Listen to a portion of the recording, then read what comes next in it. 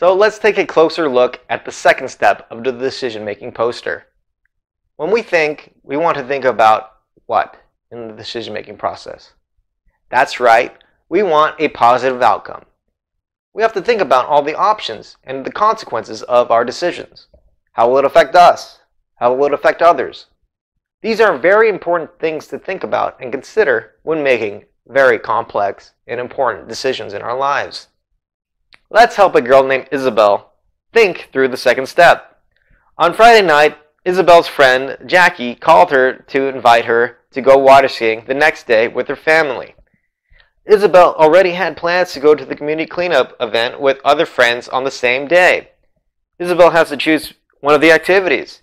Isabel's options are to go to the community cleanup or go water skiing. The possible outcome in this situation would be to choose the best activity.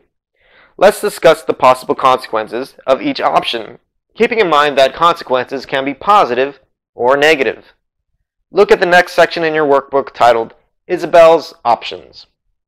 List the possible negative and positive consequences of both Isabel's options. Then check the option you believe is the best activity for Isabel to choose. Let's share our answers with the class. So, what are the possible negative consequences of going to the community cleanup?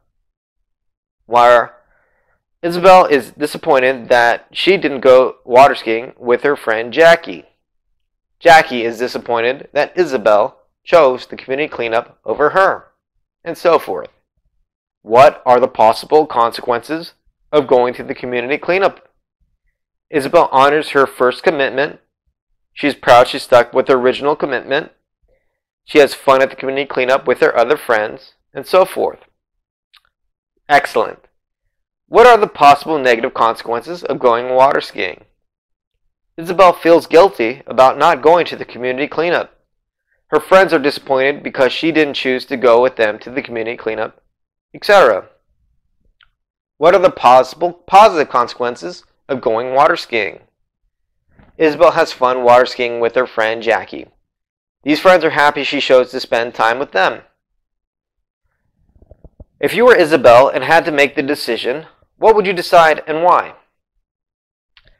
Very good. So let's turn to page 7 of our student workbook titled What to Do, and we're going to help make a decision together.